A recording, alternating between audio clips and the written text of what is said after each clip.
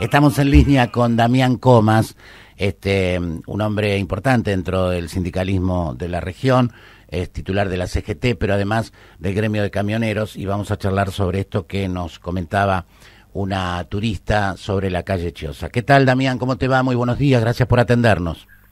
Buen día, ¿cómo andan ustedes? Bien, muy bien. ¿Viste el partido anoche? Eh, vi un poquito nomás. Hasta que terminó, nomás. Hasta que terminó. Este, lo que pasa es que le han sacado todos los jugadores. ¿Por qué vendieron todos los jugadores ustedes? No, estamos en un recambio, estamos en un recambio. Hay que ah. entender que el fútbol es así. Sí, viste que hay años que los presidentes venden pasarse de guita y entonces se conforman con la mitad de la tabla y hay otros años que van por el torneo, van regulando. totalmente. Nosotros bueno, no vendimos nada, pero tampoco votamos por el torneo. Tampoco estamos por el torneo. Vamos, bueno, vamos media. Bueno, vos sabés, este, Damián, que me llamó una, una oyente este, de San Bernardo, de la calle Chiosa, Eugenia, que dice tener el siguiente problema. La ordenanza le obligó al consorcio a comprar el contenedor y los propios muchachos de Covelia le dicen que no lo pongan en el contenedor porque no tienen los brazos para poder tirarlo arriba del camión. Entonces es un despelote este, juntar la basura ahí en, en Chiosa. Ahora, yo estuve averiguando y me dijeron que ocho camiones están con los brazos para cargar esos contenedores. ¿Qué es lo que pasa? ¿No van a Chiosa o van y estás...? No, los recorridos normales que se hacen de recolección no son los que levantan los contenedores. Hay tres servicios de contenedores que se dedican exclusivamente a levantar contenedores. Eso ah. hace a que las empresas que tengan contenedores tengan, o los comercios que tengan contenedores tengan que solicitar el levantamiento ante un llamado telefónico a la empresa o una denuncia a la municipalidad donde la municipalidad solicita a la empresa que le levante el contenedor. Pero los, los recorridos de recolección no son los que levantan los contenedores. Para, para, para, para. A los consorcios se les obligó a poner un contenedor. Sí. El consorcio tendría que llamar a la municipalidad o a la empresa para decir vengan a recogerme con Totalmente, que ya tiene, que ya, que ya tiene el contenedor eh, establecido para levantar los ¿Y cómo, ¿Y cómo se entera el consorcio si no hablamos vos y yo por teléfono? Y quien le envió el, la obligación de comprar el contenedor se lo tenía que haber avisado. Ah, pero eso es una ordenanza, una ordenanza general para que todo el mundo compre el contenedor, pero... Sí, pero no lo compra todo el mundo, vos sabés cómo son. Bueno, pero el tipo lo compró. ¿Y cómo se entera que tiene que llamar a la municipalidad y decir, mire, yo tengo contenedor, tienen que mandarme... Y, y esa es una obligación que tiene que tener las delegaciones municipales, obviamente cuando llaman para levantar rama, para levantar bolsas grandes, también tiene que llamar para decirle que en el hotel tanto, en el lugar tanto, hay un contenedor, por favor vaya, vayan a retirarlo.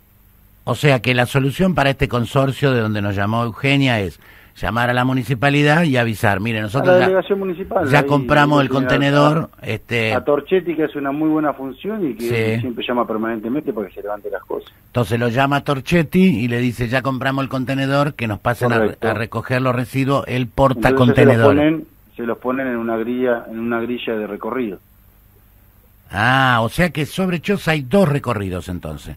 Uno, el camión normal que levanta las bolsas y, el, otro, de contenedores los ocho camiones que tienen el brazo para levantar los contenedores. No, no, esos ocho camiones son de recolección, más allá que tengan los brazos, esos son de recolección. Ajá. Si no, eh, ¿qué pasaba? En un tiempo cuando había algunos tachos por ahí, o por ejemplo, te digo, Pueblo Límite, eh, perdóname, ¿cómo se llama el eh, San Bernardo Chico? Sí. Te sacaba 250 bolsas grandes con botella y todo, y tenía que ir el camión a levantar los muchachos toda esa botella, entonces, y esas bolsas, y no era así, porque el camión del servicio de recolección es recolección domiciliaria, no de grandes generadores ni de comercio. Entonces se estableció poner el sistema roll-off para los grandes y altos generadores y para los comercios los tachos que obviamente hay un servicio de tacho que levanta eso. Bien, muy bien. Lo otro que ayer este averigüé producto del llamado de Eugenia es eh, la gente del 0800 eh, me dicen que no hay mucho reclamo en cuanto a recolección de residuos, sobre todo en San Bernardo. ¿Se reforzó ahí los servicios de recolección de residuos? ¿O tenemos... No, ha cambiado la forma de recolectar en base a los 10 camiones que ha enviado la empresa que estén en condiciones. Ah. Esto es normal, un camión que está en condiciones arranca a las 6 de la mañana y a las 12, una del mediodía está terminando su recorrido desde la primera calle hasta la última. En cambio, antes, con los camiones que tenía, arrancaba a las 6 de la mañana, se quedaba tirado a las 8 hasta que las 11, 12 del mediodía lo iban a buscar y ya quedaba todo el servicio afuera. Eso era un lunes. Y el martes ya ese recorrido no salía y ya quedaba la basura y así sucesivamente.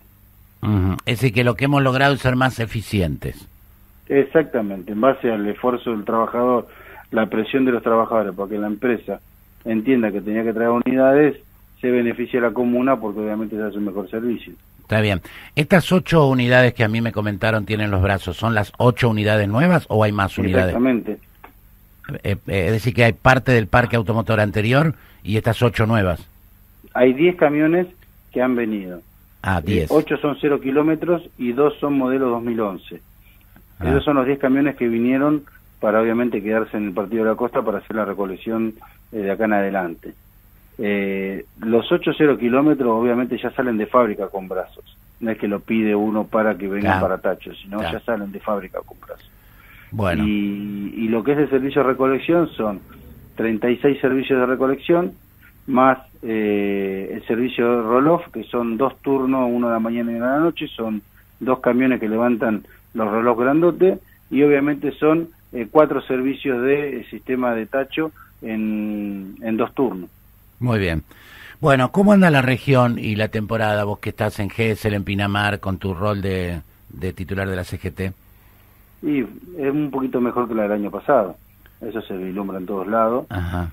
Eh, pero bueno, la gente por ahí no vacaciona como está acostumbrada los comercios, los alojamientos del Partido de la Costa. Vos te vas a encontrar con familias que te vienen por cuatro días y en muchos casos te viene con el autito lleno de mercadería de la que compraron en el supermercado. Entonces ya la gente no te viene a gastar el dinero que los restaurantes por ahí pensaban o te vienen a gastar lo que todo el mundo eh, de los comercios eh, aceptaba. Ni siquiera te llevan un regalo en muchos casos. Entonces eso hace que el gasto del turista no sea el que están acostumbrados eh, todo el sector empresario. Sí, eso lamentablemente va a repercutir en el resto del año. Bueno, Damián, te agradezco mucho este contacto en la mañana. Ha sido muy amable en atendernos. No, gracias a ustedes. hasta luego, hasta luego.